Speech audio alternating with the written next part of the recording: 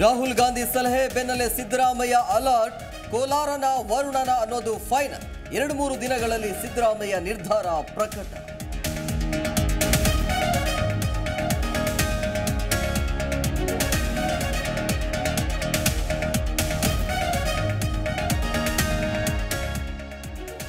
ಚುನಾವಣೆಗೆ ಹಾಲಿ ಕೈ ನಾಯಕರಿಗೆ ಟಿಕೆಟ್ ಟೆನ್ಷನ್, ಹಾಲಿ ಶಾಸಕರಿಗೆ ಯಾವುದೇ ಸಮಸ್ಯೆ ಇಲ್ಲ.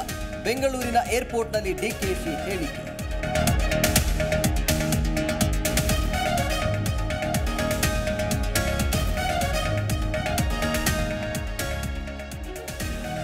ಜೀವಂತವಿರೋ ಊರಿಗೌಡ, ನಂಜೇಗೌಡ ಬಗ್ಗೆ ಯೋಚಿಸಬೇಕು. ಸಿನಿಮಾ ಮಾಡಿ ಹಣ ಮಾಡಬಹುದಷ್ಟೇ. ಬದಲಾವಣೆ ಆಗಲ್ಲ.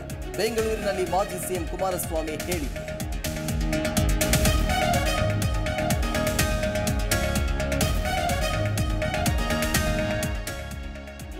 ಸೈಲೆಂಟ್ ಸುನಿಲನ ಸದಸ್ಯತ್ವಕ್ಕೂ ಬಿಜೆಪಿಗೂ ಸಂಬಂಧ ಇಲ್ಲ.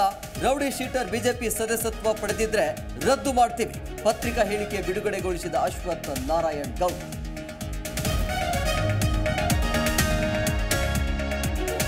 ಚುನಾವಣೆ ಸಮೀಪಿಸುತ್ತಿದ್ದಂತೆ ಜೋರಾದ ಗಿಫ್ಟ್ ಪಾಲಿಟಿಕ್ಸ್, ಕೋಲಾರ ಯಾದಗಿರಿಯಲ್ಲಿ ಆಕಾಂಕ್ಷಿಗಳಿಂದ ಭರ್ಜರಿಗೆ ಮಹಿಳಾ ದಿನಾಚರಣೆ ಹೆಸರಲ್ಲಿ ಸೀರೆ, ತವಾ, ಹಂಚಿಕೆ.